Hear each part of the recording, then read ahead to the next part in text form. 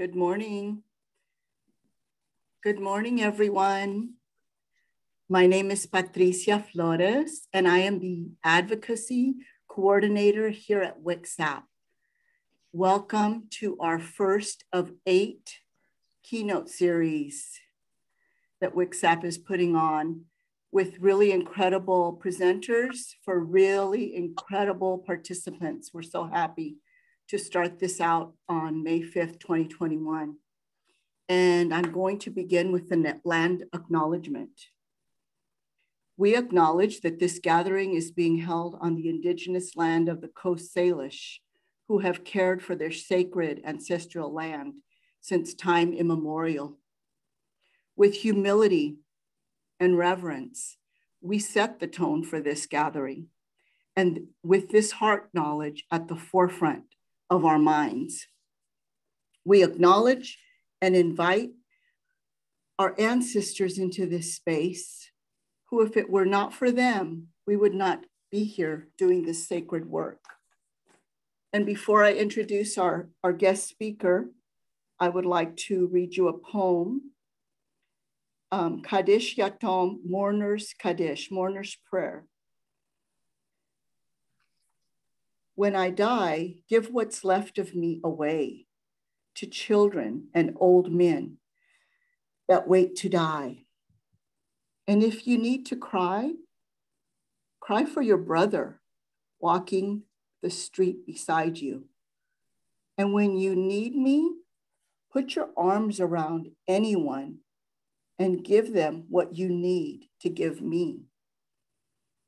I want to leave you something something better than words or sounds. Look for me in the people I've known or loved.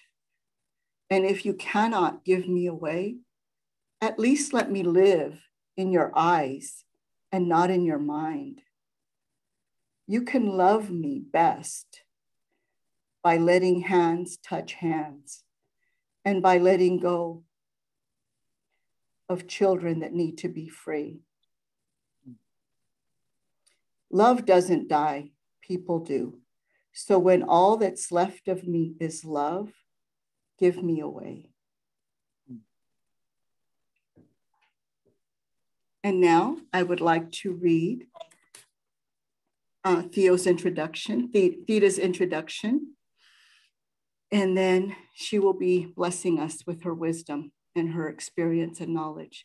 Theda Newbreast, MPH, Masters in Public Health, Makoyo Sokoyi, Blackfoot name, which is Milky Way. Yes, from the universe, Milky Way. Born and raised on the Blackfeet Reservation in Montana, with a relocation experience in the San Francisco Bay area during the civil rights movement.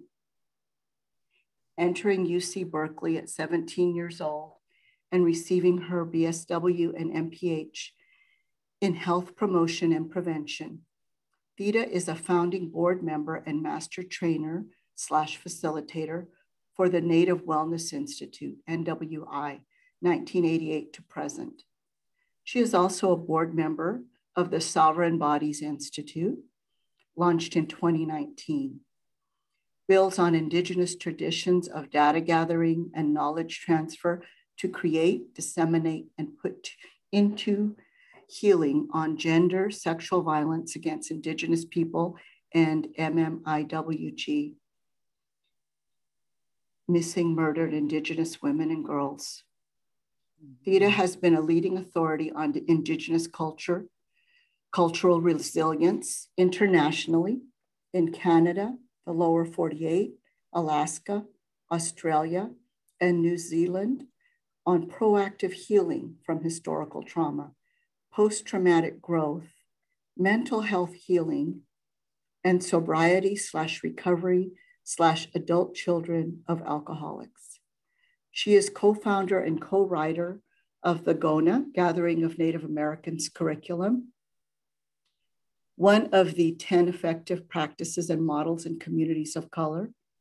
Theda is a Kan Not So Mita society member, which translates to crazy dog, and Kami Oi Sak Samiksi owner of Stand Up Headdress, Blackfoot Women's Society. She sundanced with the late Buster Yellow, Kidneys Bundle for 10 years. In 2013, the Red Nations Film Festival honored Theda with a humanitarian award for her lifetime of healing work with tribes and with a Red Nation statuette of her for her documentary short called Why the Women in My Family Don't Drink Whiskey. And that is free on YouTube. The Blackfeet Tribal Council has recognized her leadership skills and appointed her unanimously to the Board of Trustees for the Blackfeet Community College for 2014 through 2017. She is currently certifying healthy relationship trainers for Native Wellness Institute, which is a curriculum identified as best practice from ANA, Administration for Native Americans. And on a personal note, I want to let you all know that I had the blessing and privilege of meeting Theda in September of 2019 in one of the Native Wellness Institute's four day trainings. I've learned so much from her. We have become sisters, we have become friends and um, confidants. And I'm just so blessed to present her to all of you today. Thank you, Theda. Mm. Cyber hug, cyber hug. well, uh, in my language, Oki, and I'll translate, means my spirit is very, very happy to meet your spirit.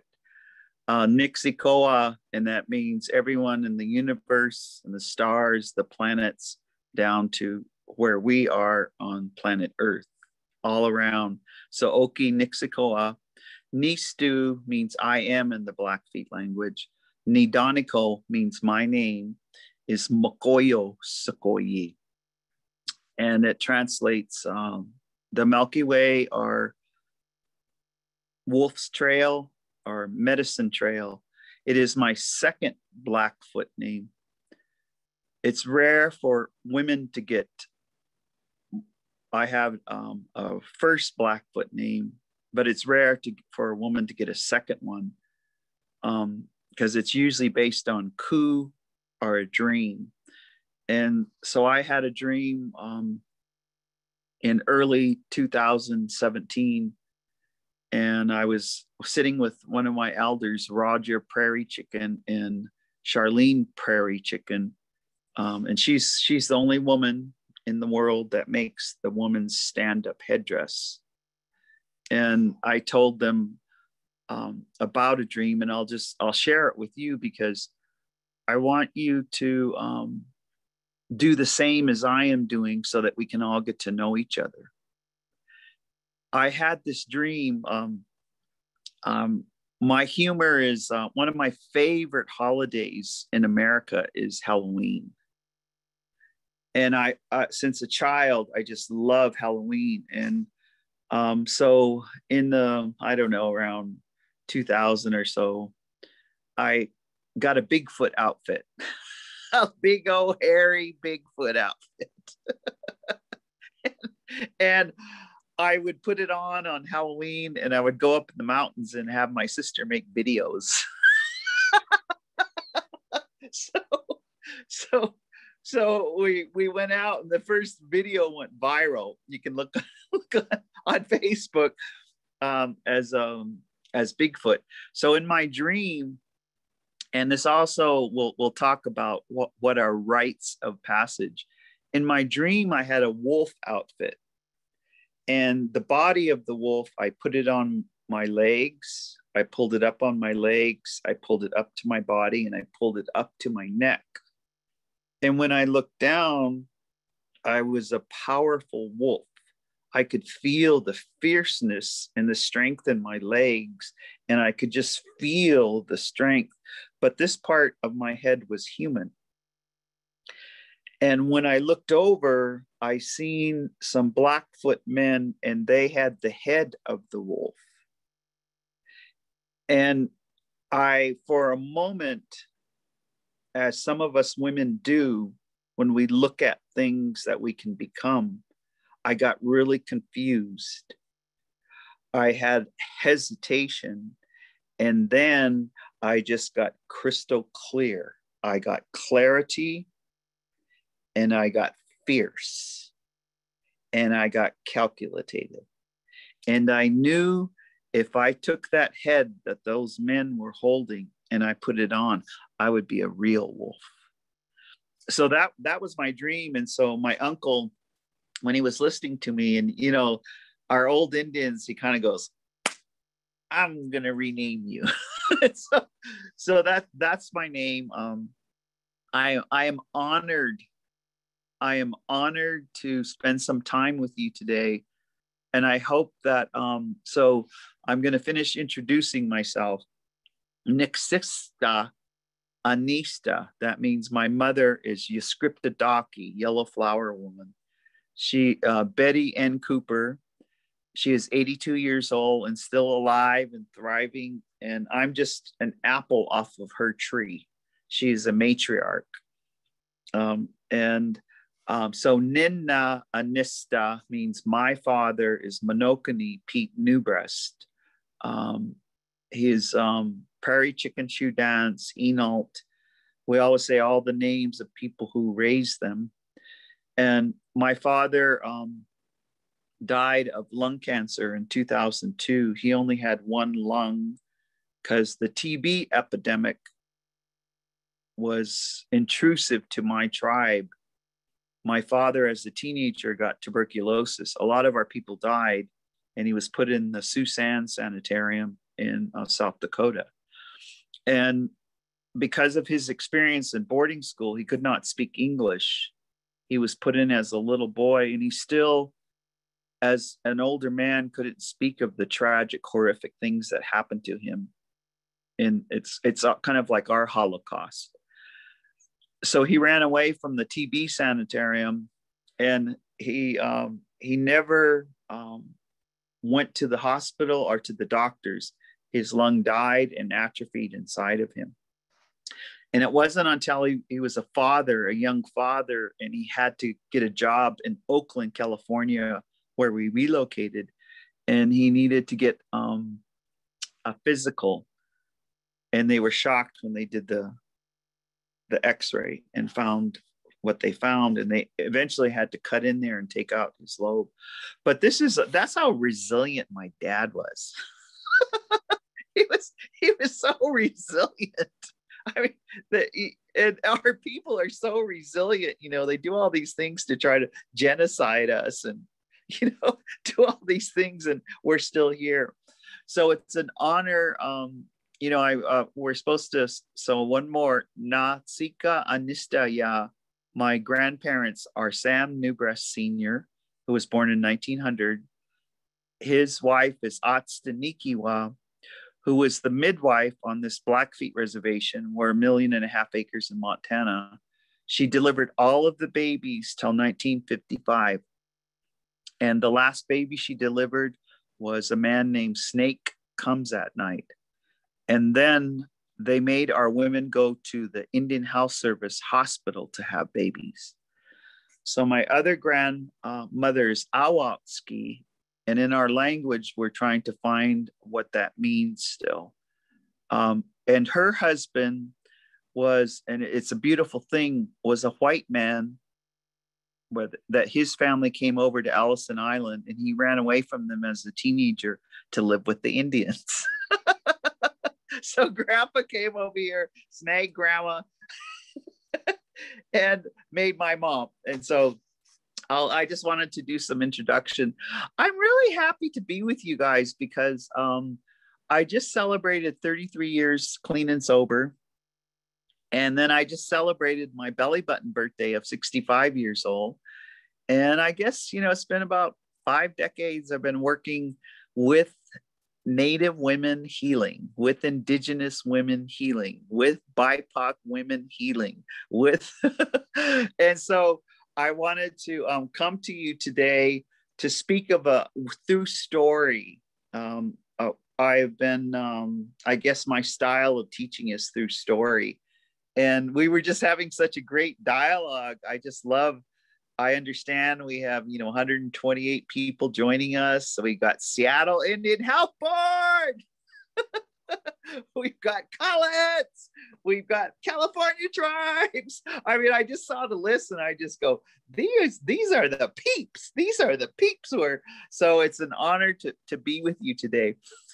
So um, you know, uh, Patricia and I, we were praying at the ocean a few years back. And us because of that prayer, I wanted to share what I call a successful story about sexual assault.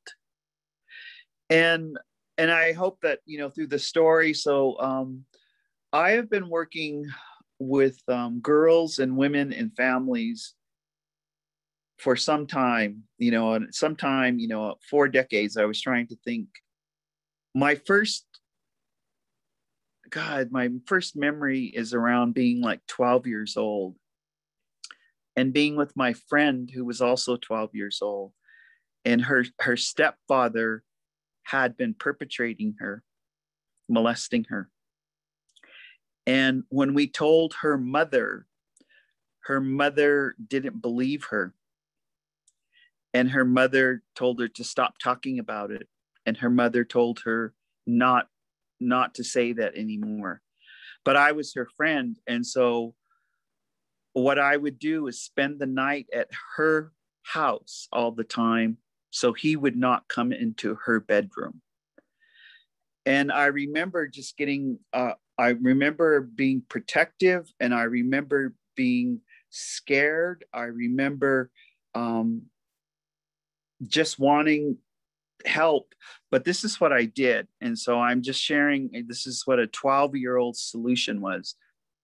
I, um, I was up in the bedroom and this stepfather would go golfing and you know he would wear those loud vibrant pants and they were they were they were red they were red golf pants on and I had to go downstairs and when I went by him he he brushed me and he took his hand and he felt up in between and he felt up towards my vagina and as soon as he did that I took him and I shoved him and I was strong. I'm five nine. I'm strong. I'm an athlete. And I threw him down the stairs. And when I went down, I went down and I grabbed him at the bottom of the stairs and I use profanity. I don't I don't use profanity now. It's not becoming and I and I just told him if you if you ever touch me like that again i'm going to hurt you and if you ever touch my friend again i'm going to hurt you and i let him go and so he never he never touched her again after that and i'm saying that with my heart is beating my heart is beating because I know all of you. All of you, you work in this, you live this every day. You live this every day. So I want to thank you. But I I guess that story comes to me because that's how long I've been doing this work. you know, I didn't I didn't have a pay job. I didn't get I didn't get I didn't get to per diem. I didn't get travel money that's and then I I remember saying in my mind, wow, we just have to learn to use our voice. we just have to learn to protect little girls. We just have to learn to protect little boys. We just have to learn, we just have to, as a community, make safety nets around all of these little girls and these little boys. And we also have to believe them when they come and tell us. We have to validate them when they come and tell us. And so I wanted to, so that's, I guess, when I signed up to be um, a helper, I'm just a conduit, I'm a helper. I'm, I'm not trying to write a book. I'm not trying to get a PhD. I'm not trying to get a Samsogram. I'm just a, I'm just a helper. And so, but I have you know, I my clinical work is with pregnant addicts. Um, I was privileged in, in California to work on the first labeling of alcohol in 19 early 80s, 1984. I've been a probation officer. I've been a social worker. I've been, um, it's so many there. I don't even want to list all the jobs, but today I come before you from Native Wellness Institute. And our mission is just to keep the teachings of our ancestors alive. So I wanted to um, share that story um, around the success. Um, it, this happened uh, over 10 years ago. And I had been um, sundancing with a sister and sundancing is um, in every tribe is um, a little bit different and we have 574 tribes isn't that cool 574 sovereign tribes deb haaland is from one of those tribes and deb Haaland is the head of the department of the interior now and so um, i this sister um, she came to me and she said theda could i come, come see you and so I invited her on up. You know, I live way up in the mountains um, on a lake out of Glacier Park. And when she came, you know, I just I just said, um, make yourself at home. There's food in the refrigerator. There's the bathroom. We could go for walks. But um, because I'm um, a recovering codependent, I don't try to people please all the time. so I I just said, you're welcome. Come stay. And when she was leaving on the third day, I asked her, I said, Sister, how come you wanted to come see me? And she goes, I was waiting for you to ask. And she said, You know, I just wanted to thank you for all your prayers and all. She said, You know, she said, this Sundance gave me healing. She said, when I when I was a little girl, I was I was raped several times and I never told anyone. I kept it a secret. And she said, but through that Sundance, I was able to pray, I was able to talk about it, I was able to heal. And she said, and one of my symptoms, because I kept everything inside, is, is she was diagnosed with rheumatoid arthritis, where her hands were being being crippled up. And she said, and and she said, and probably, you know, my heart and my spirit was being crippled up. But she said, I wanted to thank you because through that Sundance, and she took her hand, and I always remember, she said, Look at my hand now. And it was so graceful. It was, and she said, I don't feel any pain right now. She said, when I did my, you know, when I did my healing work, I got mobility in my hands again and she said and i just wanted to thank you and so i was i woke up this morning because i was saying my prayers you know i say my prayers i go for a long walk in the mountains here getting ready to so i could be clear headed and it's kind of crazy as you get older i was telling mom i said mom when do you start to forget? She's 82 i'm 65 i go mom when do you start to forget? And you know what she said to me? She said it's okay if you forget. You remembered long enough. so so this this story that I just shared with you currently in 2021 the same woman with mobility in her hands and doing healing guess what she's doing now? She's the the tribal judge. The families come before her.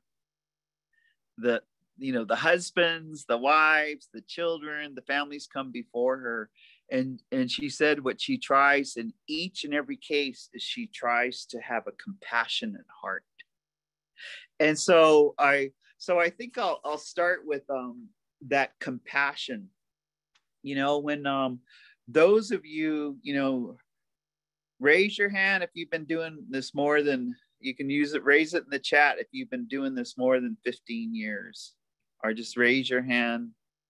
Exactly. Exactly. So this compassion that we have, I want to I want to speak to that and I want to speak to how we keep our compassion. how we keep our clarity, how we keep our self care. I, um, because, you know, when I was younger and I had the passion, I would burn out about every three years. I remember my burnouts because I didn't want to get, get get out of bed because oh gosh, I wasn't ready to face what was at work.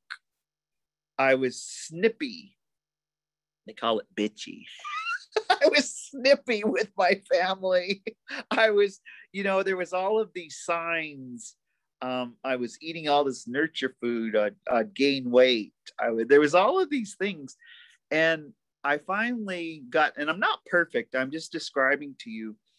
I was at a point where I heard some magic words, and the magic words I heard was, you can't give away what you don't have. And the magic words I heard is you can only take people as far as you have gone. And I so those were magic words. And so I became um, very selfish with my self-care. And you can my colleagues that I work with, you know, I would I would always say, I gotta be in bed by 10 with my book you guys could keep on going. I mean, I would, I said, because I got to get this many hours of sleep. I am not to be sleep deprived because my compassion is low if I'm sleep deprived. you know? So I, I would, um, and just t- self care around doing nurturing things for yourself. So one of the things that I would just I did my first in-person mask to mask in Wyoming and I experienced uh, something of self care that I want you all to think of because of this compassion. And the thing that I experienced was they have on a routine basis for two and a half years with this treatment program in their healthcare facility, they bring in a trusted acupuncturist. And since they've had this person come in, they have people off getting them off of what they call pain pills but they also have um, the acupuncturists come for mental health and so it was such a pleasure. It was just a couple uh, just a couple of weeks ago and um, i was working and they said do you want to see the acupuncturist? And i go yeah yeah i love self-care. I'm going to do this. And so there was just this long line of indian people who you know to come and see her. And usually you know she'll needle you and it's like 20 minutes but if you need it longer. And so when she came to me and it's just like this is like you all of you working 59 weeks in a pandemic. Remember that's why we have to be more gentle more forgiving to ourselves. So when she came to me you know and i'm i'm 65 years old you know i'm just i told her i don't have any physical pain but what I have is I have emotional pain of stories that I have heard and stories that I sat with and that I was present with. And I think I'm wearing them on my body. I need help with my emotional compassion. So I just I wanted to share this with you so because this never happened before. You know that soft spot on the baby's head you know, and we're most, you know, all of us mothers and grandmas and matriarchs and sisters, that soft spot on the baby, we're always protective of that that baby. And by the way, that when babies have that soft spot, they're more open to God. They're more open to the spirit. They're pure. They they're called what is pure, and that spirit can come down. And that's why there you'll see children they can see the unseen they can see things but this acupuncturist the first thing she did was take the needles and they don't hurt you know if you haven't tried it. She put the needles around that soft spot and that blew me away. And then she put a needle in the third eye and then there's five points in the ear and when she put in the one for the lung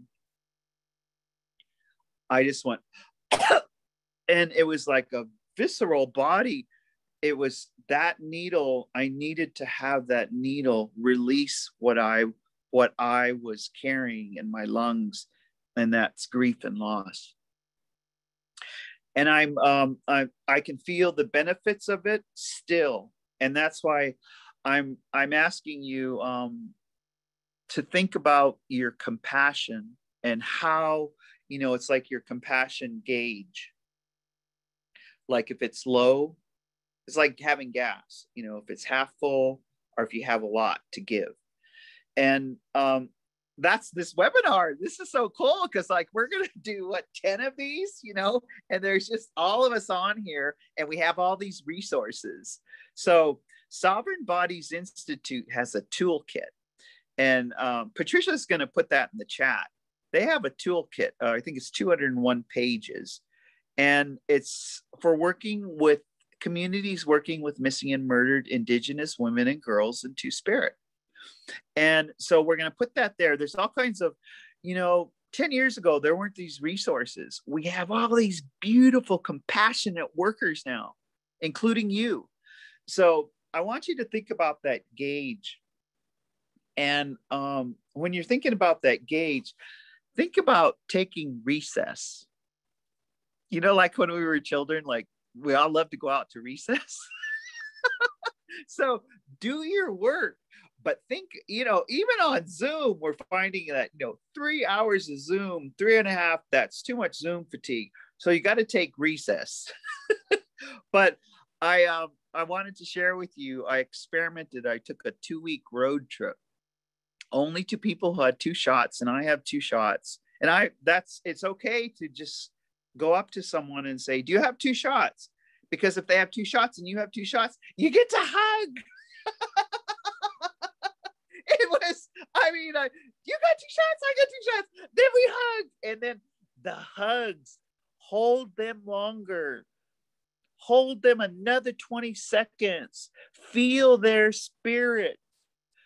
Even if, you know, wherever you're working with, hug them and that's where we are. We're in a compassionate celebration because now we can hug people. Now we can start to plan things. Like you know we're, we're having this you know webinar and a social social platform uh, uh, you know and now we're going to be able to just think forward to that.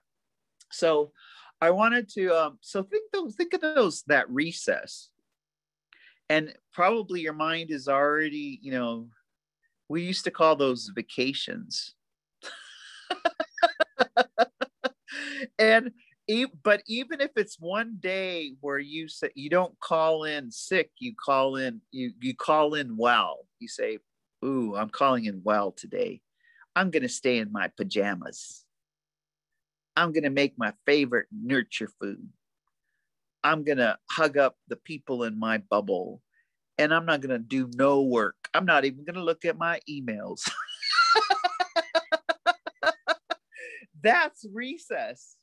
That's recess. And so I want you to think about t- planning planning your recess. You know, work real hard because when you come back you have clarity. You have insight and you have more to give to to everyone that that you're involved with. Um so let's um you know there's um law enforcement there's academia there's our outside allies there's grassroots activism there's legislation there's healing work. And so i wanted to share with you it's not that um native wellness institute we're at a place where we kind of know some things. and so I wanted to share with you, and we'll start with um, the grassroots activism. And with missing and murdered Indigenous women and girls, transgender, two spirit, you know, I, I began to think um, how effective these past god especially six or seven years and and then because of the me too campaign the past four years in which we have just blossomed into healing but i, I wanted to speak about some um, successful grassroots activism. And for those of you, you know, I can see all of you wearing red. I mean, these shirts, everybody hold up your shirt. Everybody's got red. Oh, yeah, everybody hold up your shirt. Look, at not to be forgotten. You know, this is this is um a a bunch of uh, Indian women in Nevada just silk screened all these and they just went out and and you know like how some people go around with a little cart selling tamales they just went around with a little cart and we had these shirts and if you couldn't afford it they gave it to you like you know but but if you could donate they took the donation. And i just thought oh you know what? That gave that raised the hair on my arms. That raised the hair on my arms. And so that is that grassroots activism. I think where we could brainstorm and that's just go out into the community just um and so those of you those of you all wearing this this mask this mask wearing it every day I took my first plane ride and I wore this mask. And you know what was the coolest thing? Is people would look at me and they'd go, like, right on. people go right on.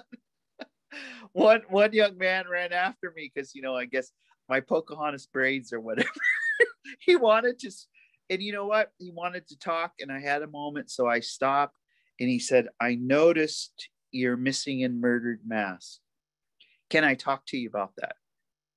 We we had a couple minute conversation, and in that two minutes, you uh, advocate is born. In that reciprocation, an advocate for our movement that will help with healing intervention of sexual assault is born. And so I, I, those, you know, make your mask. You can double mask you know, and we're still wearing masks. I mean, I have two shots, but I wear my mask everywhere. It's it's like this is we're conditioned, you know, everyone's got their Lysol instead of, you know, hello, hello, here's some hand sanitizer. we're so our our uh, I don't know. Our our world is so beautiful because you know what it, what what it's based on is love.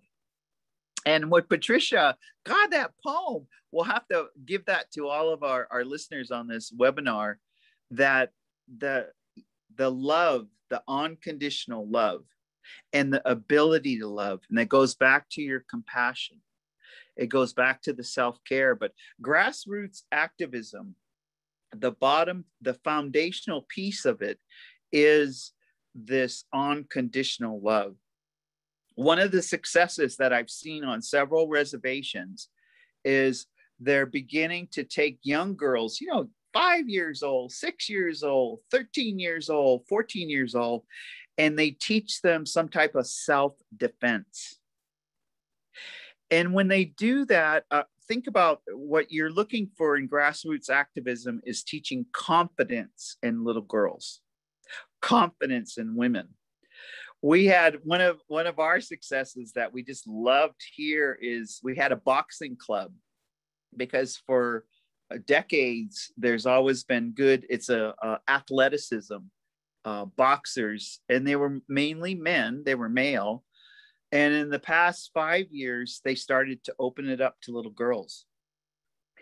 And i mean like seven year old girls um, you know sophomore and high school girls. And now it's a discipline. They have they have formed these the young girls in um, low body weight champions. But the thing is is what happened is um, the the medicine is self-esteem the medicine is uh, confidence so think in, in your grassroots activism anything that raises the self-esteem and raises the confidence in girls. And it's because they will always have a voice. The confidence and the self esteem, they will always articulate what is happening inside of them. They will always build, they will articulate and make friendships. And all of us working on here, we're all um, we're looking for solutions. We know the disparities. I, you know, the, so I'm going to keep on. Um, I'm one of those those Indians that can go on and on and on, but I'm going to keep in the theme of grassroots activism. I um, I'm part of um, the Canadian missing and murdered effort, and in Canada, since 2004, across the, Providence, they have Providence like uh, Ontario, like Alberta, like British Columbia, like we have states. They have always had um, candlelight vigils. The candlelight vigils, and they carry the pictures and they carry the names of the missing and murdered women. And so the next activism uh, that I wanted to share with you, and it's it's a healing one, is we met uh, in Alberta. Um, she's a grandma and she beads. This is a, a fully beaded native woman, the back of her.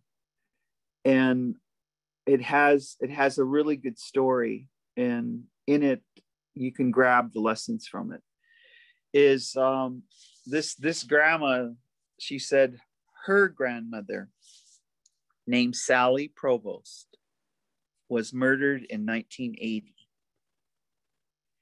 And when that happened, it was so horrific and there was so much shame, anxiety, and grief. The family had the funeral and they, they didn't talk about it. They didn't tell their story. And it was just a couple years ago that we invited her to come and tell the story of her grandma being murdered.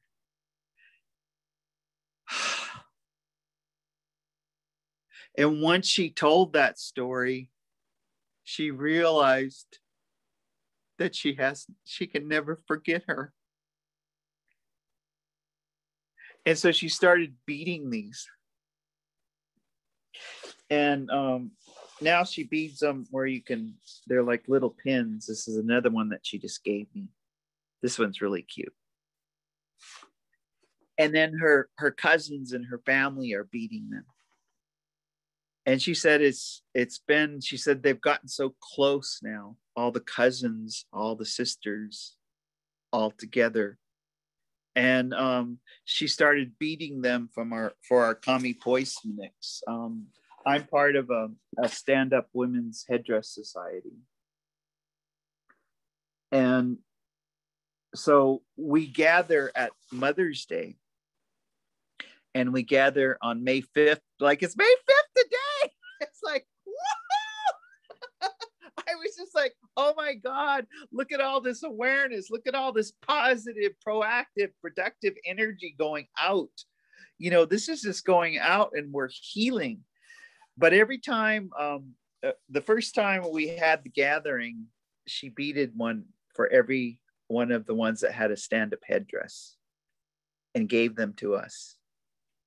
And, you know, I think about, I'm just grabbing things because this grassroots activism, I love telling success stories. In San Francisco, at the Women's March in 2019, um, there was 10,000 women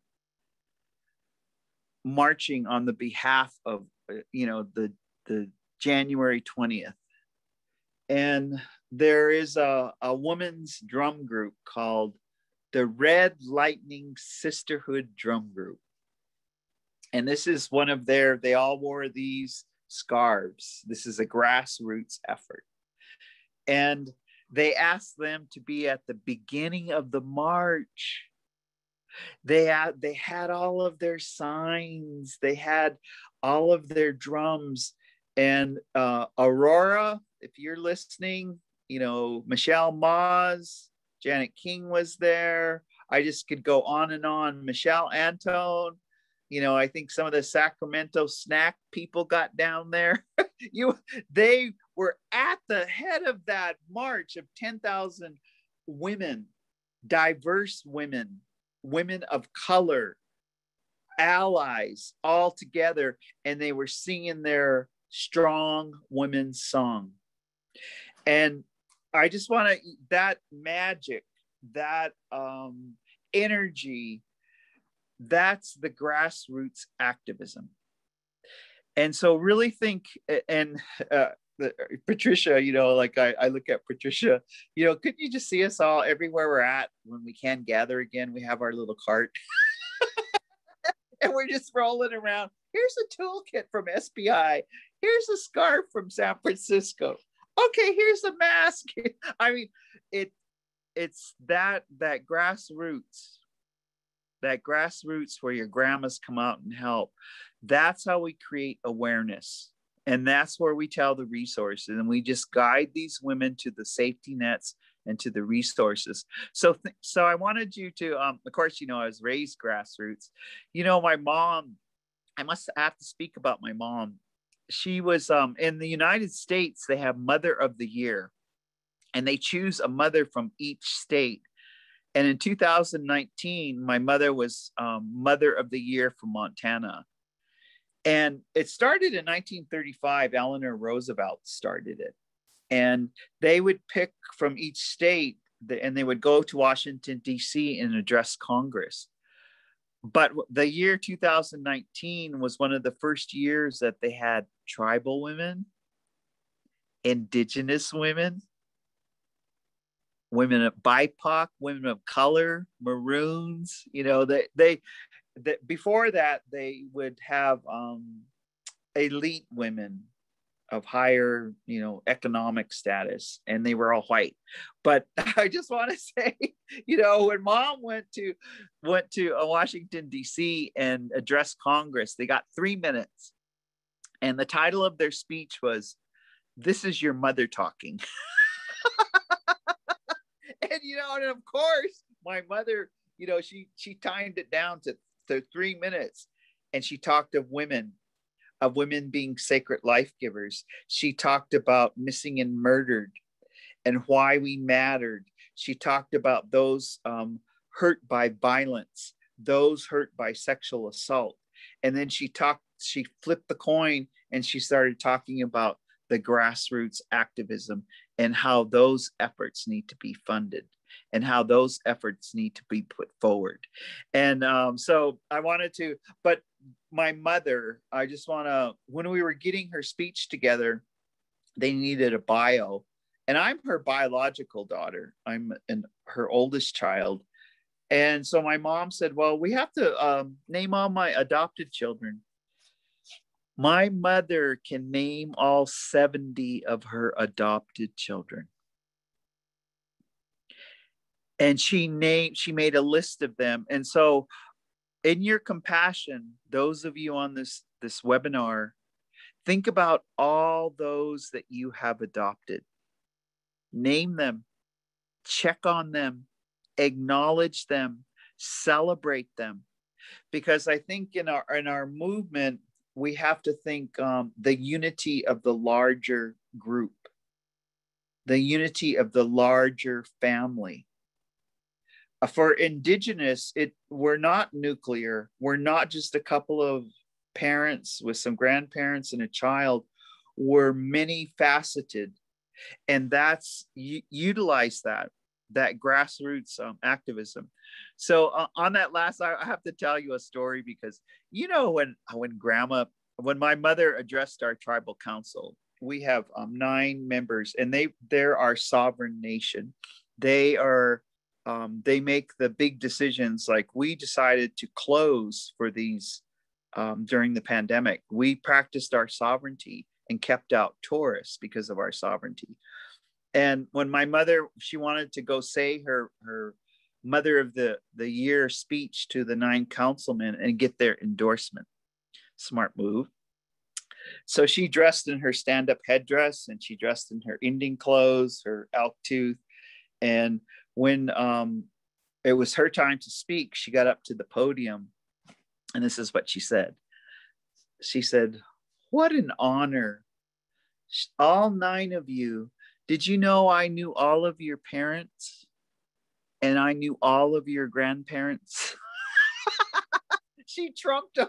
It's like, I knew your parents. I know all of your grandparents.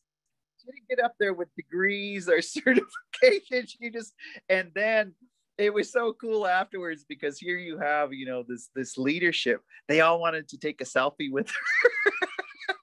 and then they all wanted to take a portrait with her so we put her in the middle and we put our our elected leaders you know and and hats off to her say good things about your elected leaders acknowledge your elected leaders. Give them suggestions. The complaining doesn't get get you anywhere. Kindness softens criticism hardens. Kindness softens criticism hardens. So just you know help your leadership. But that was like that's like a, a move. So this grassroots activism you guys you're doing it but let's do it harder and stronger harder and stronger i was just thinking we need to have um, a deb Haaland photo that we all wear all red of course you know, right? And send her one and then and then then bring it on, you know, because that activism is is so powerful. And I'll just I'll just make an, a note here because my heart is tender. On we have a million and a half acres, and we're currently looking for a three-year-old girl named Arden Pepion missing since April 22nd and we're looking for a young man named Leo Wagner. And this activism has went has went into um, effect here. There's a command center less than a half mile from my house, where people are providing three meals and searchers are walking shoulder to shoulder. I think that's happening because four years ago is when we lost Ashley Loring Heavy Runner and it's May 5th. And our community has just hunkered down and they're looking, and we don't know the answers yet. But the fact that um, the tears, the feeding of each other, the visiting with each other, the um, and I feel really protected. I mean, I had to go through a um, a police barricade because they're not letting anyone in this territory to destroy any evidence. But in the meantime, everybody, the sheriff, everybody, the, the uh, hotshot fireworkers, the fish and wildlife, and then local neighbors are uh, all coming to my door and just saying, "You okay?" And I'm just going, "I'm okay." now that, and then I'll say, "You got two shots? You got two shots? Come here." and I just grab them and thank them. You know, so so be thinking about that. So I wanted to talk about a little bit. Um, I'm going to shift from that to the healing work, and the healing work is what the business that Native Wellness Institute is in. And so I'm going to frame it with um, uh, I, and Patricia and I and our our gang before we started here, we were talking about I um, I had a mentor that always told me whatever community you're going into, the first question you should ask is what is your average life expectancy? So uh, in the United States, I think it's around 78. It might have changed a little bit for COVID. And so when you hear what it is, like on my reservation, the average life expectancy is 54. In the neighboring Fort Belknap Reservation, the average life expectancy for females is 61 and 52 for males. And if you go drop down to uh, Wind River Reservation, because we're in Montana, we're regional, Wind River Reservation, the average life expectancy is 52. So I just wanted that's um, so with tribes, you know, because we have a lot of tribal people on board here, and and then in all of your communities, you know, I want to thank um, Patricia and them for having not only the Spanish interpreters, the, um, you know, uh, when, when we grew up, um, I grew up in Oakland. so, you know, it was back then it was Latino, Chicano. And uh, and then I just look at how of the beautiful terms that we have now where we can self-identify but we have the interpretation i want to thank the sister who is who is doing what i call you know people that can't hear are ag- actually more magic because the other senses become extreme and they're more spiritually grounded. So i want so in this healing work um if if you will for a moment um in in blackfoot but this is in the human being race if you could hold your hand in a circle if everyone you know because we we have the circle of life we have the medicine wheel but if you could hold your hand in a circle and where your left thumb is is you know when you're born and coming up your left thumb to your index finger is when you're 25 years old. And at the top where your two long fingers connect that's when you're 50 years old. And when you swing around the circle 75 and 100 and think of this because in the healing work there's rites of passage. And a, hundred years the the philo- that's why we have a hundred um, willow sweats. That's why a hundred is a is a number. It's that's usually how long this physical body's to last. You live forever. You're always here. We are always here. But this physical body guess what it has an expiration date. And so and so this healing work so a question we can ask ourselves for our own compassion and self-care and a question we can ask the families that we're working with is how long are you planning on living? And you know just like start there. And if you know it, it causes someone to say okay well my grandparents lived to 66 my my mother lived to um and then you can start there with the healing work. So what stuff has happened traumatic stuff that we need to heal with so that we live longer and so i, I want to in framing that so one of um think about all of um and I'm going to switch it to little girls because when little girls are born within that first three years, and especially that first five years, you have about 80% of what that little girl is going to be or what she's going to become. Am I right? Raise your hand if you kind of, yeah, they, they learn it all in that first. so think about that you do all of the rituals and all those ceremonies. Um, we always in our in our tribe, our first rite of passage is getting your Indian name. And other rites of passage is when when baby um, first gets off of nursing, you know, because nursing um, breastfeeding is the most important. But the, one of a rite of passage is when they eat their first uh, solid food,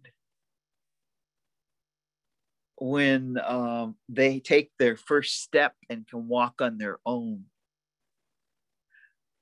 when they their first word, their the word that comes from their mouth, are the first when they they make their first sentence. That is a rite of passage. And you can imagine all the other rites of passage.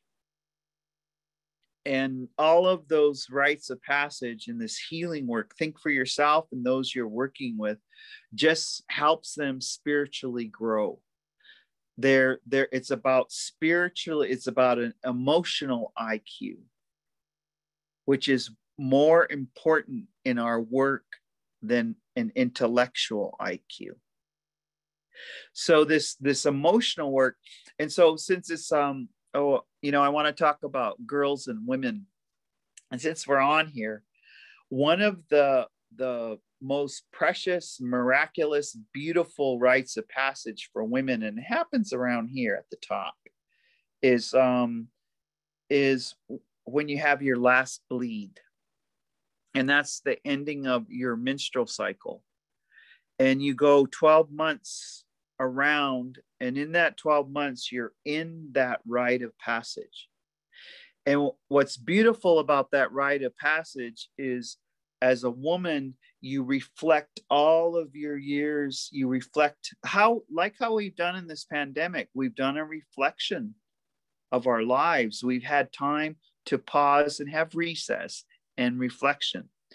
And most women will reflect on the decisions that they made during that uh, in their life so far.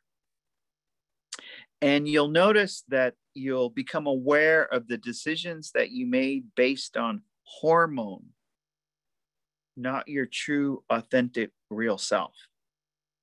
And sometimes we make some pretty crazy decisions based on hormones, right? we're not gonna we're not gonna be, you know, like he was looking really good. I'm a hetero, so that's he was looking really good. So uh, I had five kids with him. No. and then this other one over here was looking pretty good. So I had another five kids with him. No.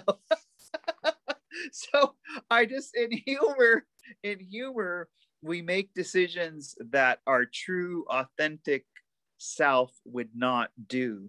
So I wanted to to just to think about that in the healing work. So for yourself or those you're working with, is because once you rent, enter into that rite of passage, there's a beautiful and I call to me it's a miracle. You start to look at the things that really matter to you, that make you who you are. And it's it's simple things like just eating the things that you like to eat. And I know that I, I that's still one with me because I'm oldest child. I had to cook all the meals for the family. I had to go shopping with the food stamps and make that last for two weeks so that we still had food at the end of the two weeks. And so now, it, for me, it's eating what I like to eat. That's self. It's listening to music that you like, right? Not like what others like. And then, you know, this is something you can do, women, okay? Is if they're watching something on TV and you don't want to watch it, get your own damn television and watch what you want to watch.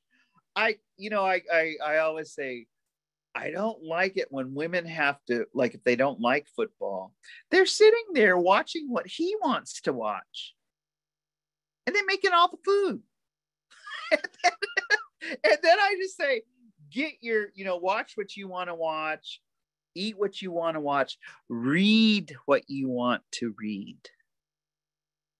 Experience, and uh, I'm, uh, we're going to go back to this recess, this healing work, you know. So, um, in this healing work, especially during the pandemic, think about those the the the structure of halt, not to be hungry, not to be lonely, not to be tired, um,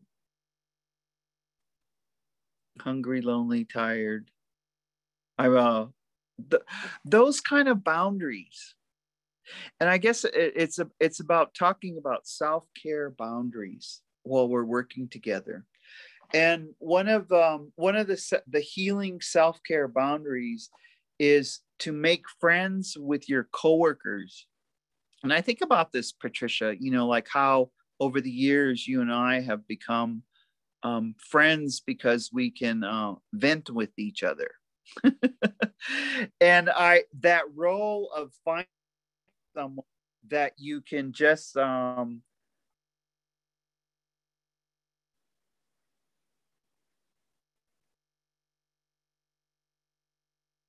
Am I back on? I apologize. There was a little bit of a glitch.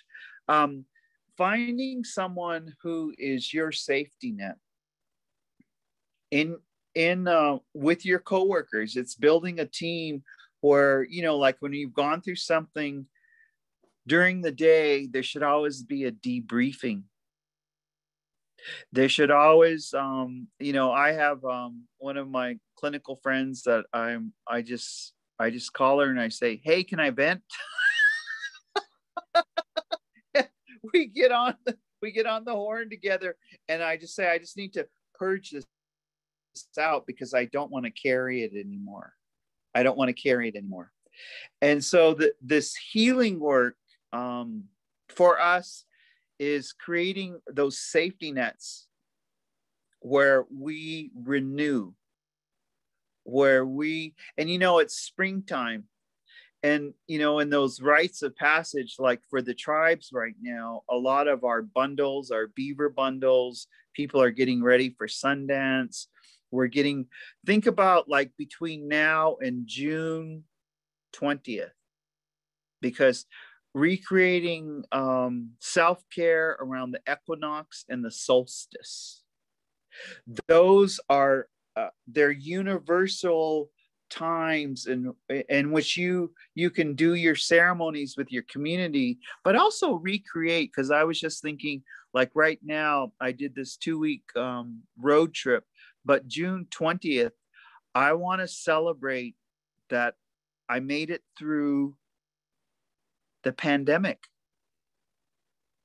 Because there was a point there was a point which um, all of our family had to start talking about what happened if we died of covid what was the plan and we had some serious conversations some tearful conversations and so that that um so think about um the celebration that we're alive the celebration that here we are, we haven't stopped doing the work. Here we are, we're on this webinar.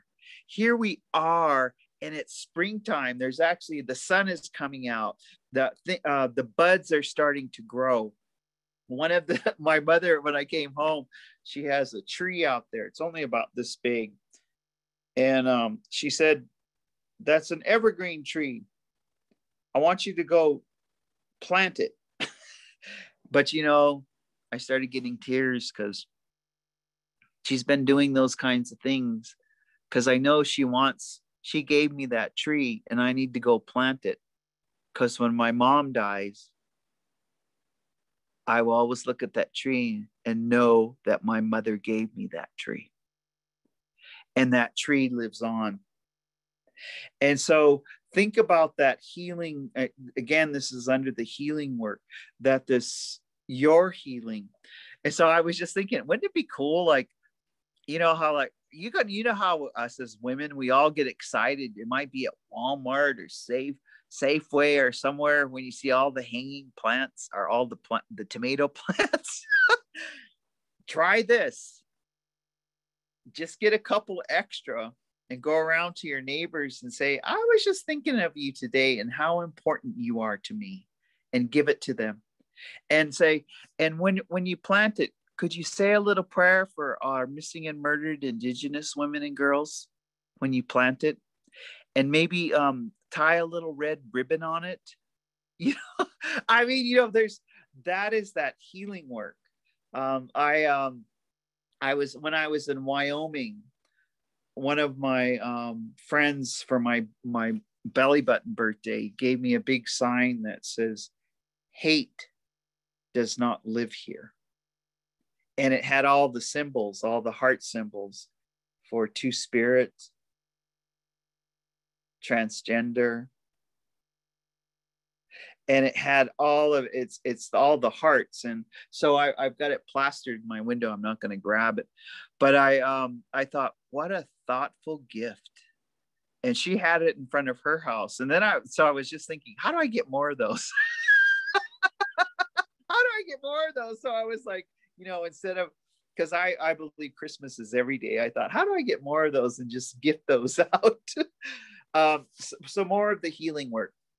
So I, I wanted to again think about those um, rites of passage. And planning for your rite of passage that you made it through the pandemic planning for that celebratory time with your family you know, um, and you might not be getting together till July 4th. You might not be getting together till Memorial Weekend, or it might not be till Labor Day, but plan a being alive with your family and at the same time have the memorial for those that we lost and um, you know patricia and i we, we've had this discussion about that the grief is as big as the loss. And i know in our tribe we lost 48 and i i grew up with all of them. I knew all of them. And we because of covid we haven't had memorials. So i was i was thinking it's going to be a good thing when we can all just memorialize them um, so when you're doing that and this this is this has to do with the healing work is a good way to think of it is the person that you lost what was their legacy what did they do that is just their legacy and I, so I was thinking of aunts and uncles that I lost. And I was thinking of their sayings. Um, so uh, what one of uh, my uncles that was lost, he worked in the emergency room for 29 years straight. But he always had this sense of humor. And so he'd always see someone and he'd say, Hey, you, you dropped your pocket.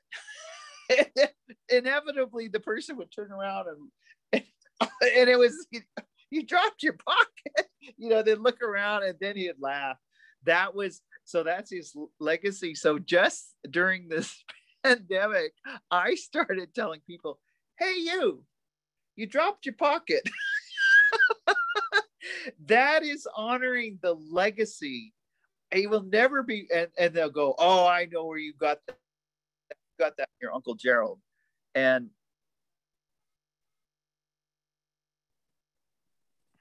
So they Uh-oh, would just. Uh, Theda, you cut out.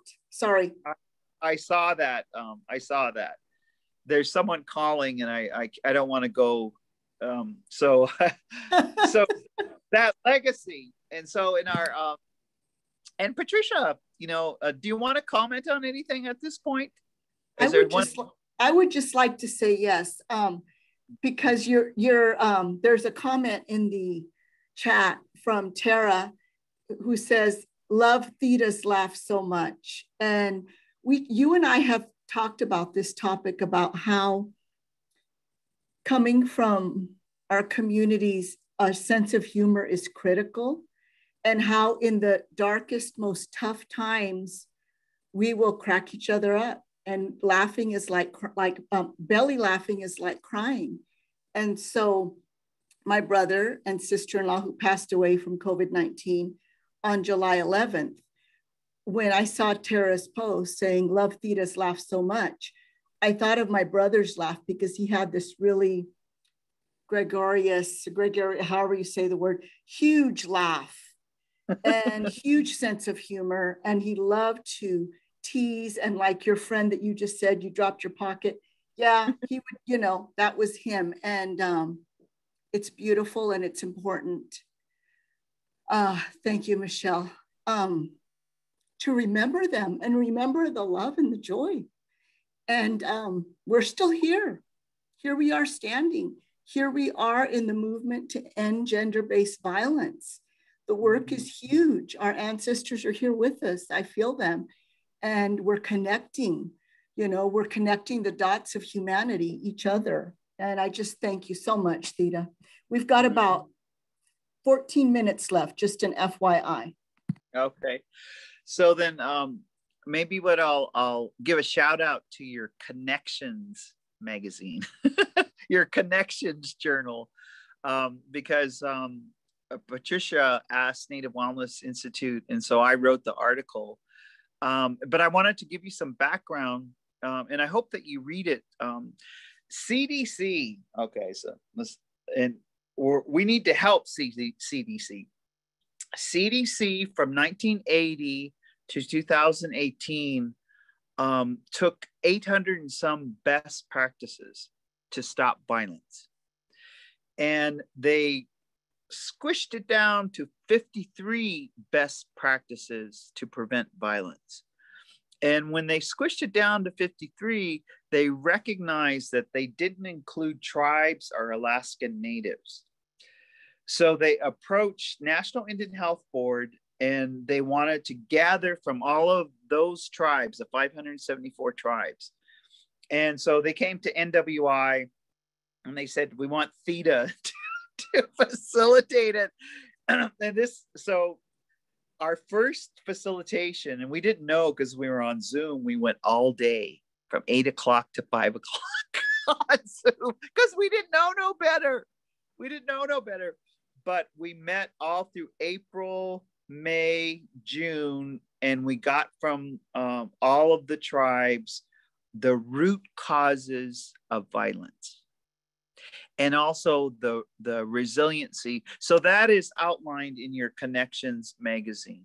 I want to just and so that um that effort also um, cdc has written a journal um, her name is delight sauter and laura at cdc and they asked me to co-author the indigenous knowledge part.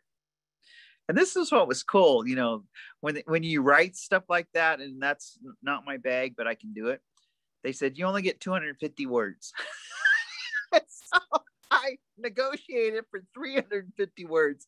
So it's also in that article and but this is the cool part is as we were writing it and i wrote rites of passage some of the stuff that i'm sharing with you this indigenous knowledge that i got from my great great grandmas is um, I said to them, I don't want you to mess with it, changing the words or making it sound like. Um, besides, I don't think there's anyone at CDC who um, knows more indigenous knowledge than I do.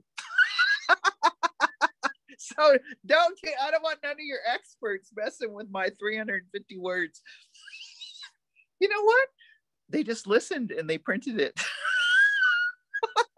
so that's again, find your voice. I started out, find your voice because God, I just want, I look forward to when, we can all sit in a circle and put a smudge in the middle when we can all wa- wade into the water and sing some songs to the water. I I just cannot wait until I, I see all of you again and we can sit and visit, you know, with with something good to eat and a hot cup of tea or a good cup of coffee. And i think that you know in these these remaining minutes um, think about the indigenous knowledge is still there. So what that what that requires us to do is during our recess I'm gonna, this recess idea just go sit with a day or two with the oldest person in your family just go bring them meat or bring them salmon or bring them uh, a tamale, a good tamale, okay? You know, bring them some good food and and listen to their stories. That's why we have two ears and one mouth. We're in a, a stage where the greatest thing that we can do is be present and listen to someone's story. And then share a little of our story you know I, I i just i can't overemphasize and you guys are doing that you know and and i you know it's been an honor that you asked me to come and to start this this the kickoff keynote for all the efforts that you're going to be doing over the next couple of months and the year so um in the remaining time think of it you know i was i was i was ganting out i'm the kind of person like i what do i want to do be till december 31st 2021. And the first thing that came up was that June 20th, the solstice and the equinox. I want to have a lot of celebration and just like simple celebration, like sleep hygiene being good. Yay! I slept every good every night. uh, I want to um, uh, this Mother's Day, and maybe that's a good place for us, do something special May 9th for yourself as a mother. Do something special for if you still have your mother. And if if your mother has passed on, have a celebration anyway. Make her favorite food make a little plate for her, smudge that plate, and put that food out so that she can come and eat with you. Make a, a celebration of your grandmothers.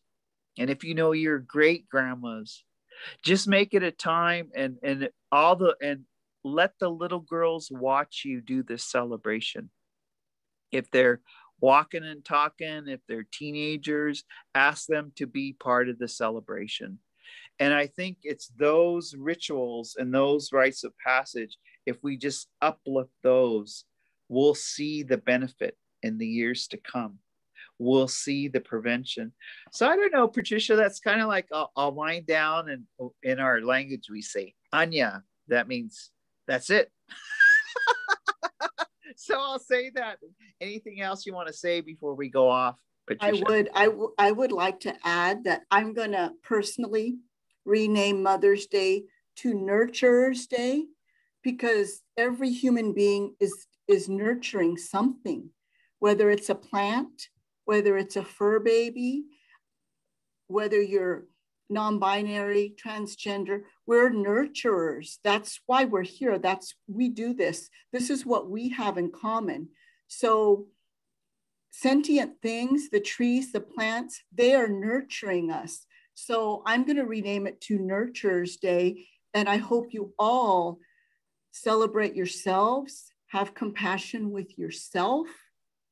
Um, I'm just so moved every time WCSAP gets to connect with all of you. I'm so moved when WCSAP gets to be the platform to bring people in like Theda and others and the Connections magazine, where we're all learning. We're all learning from one another until our last breath. And um, just, I'm, I'm just so grateful and I feel so blessed and just wanted to share that, you know, that it doesn't have to, in my opinion, be a female thing, Mother's Day. We are nurturers. We obviously, we are nurturers and let's nurture ourselves. So yeah. we've got six minutes, Theda. Yes. So I wanted to invite all of you to um, Native Wellness Institute for the past 59 weeks. I think we have um, 330 free power hours.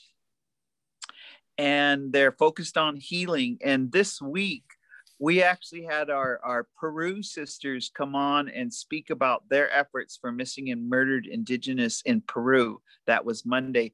And you can go to YouTube and listen to that. We have um, yesterday I was on, and we have um, Sovereign Bodies Institute because at Sovereign Bodies Institute we have a staff and they're fantastic. It's kind of, you know, it's kind of like having four Anitas now because Anita is finishing up her PhD. She's like t- taking a little recess, but she can because she has three three clones. she has like three clones. And so think of, you know, you have to clone yourself. You have to mentor bring them in. But um, check out that all this week is dedicated. Everybody's wearing red. It's um, missing and murdered acknowledgement. It's healing. It's intervention. It's talking strategy. And so um, come join us. And I guess with my remaining time, Patricia, I, I would ask for alliance. It's because the Europeans want us to compete. Mm-hmm and i think that when we start to ally and we we start to get along we're not as stressed out. It feels good. And you can call upon each other and then they can also call upon you. It's an interdependence that i i just think is we're willing to do that. And i think that's one of the lessons of the pandemic. Yes. we have learned to ally with each other patricia. We're helping so, each other carry the load Exactly. Mm-hmm. We're helping each other to carry the load. That is an incredible way. And you know, you know when you guys are free. I mean, like, are you guys like me? I carry my attention right here. I'm tired of carrying that load. I kind of want to be like, you know, floating. I want to be free. I still want to do the work, but uh, again, remember, plan that recess. Take a recess. Mm. Thank you so much, Theda. Thank you so much. Um, Thank you all for being here with us. And remember to check out the other keynote series that we're going to have. They're amazing humans like Theda. Um, and I'm just really thankful that you took time out to join us, all of the participants. And we, we have our work cut out for us, but we are many. We are many, and that really is exciting. And joy and sorrow, yin yang, it's all part of us being alive. Thank you all.